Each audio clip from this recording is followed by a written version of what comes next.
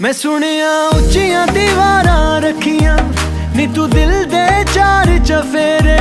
ਨਾਲੇ ਸਾਂਭ ਕੇ ਰੱਖਦੀ ਕੋਈ ਦਿਲ ਚ ਨਾ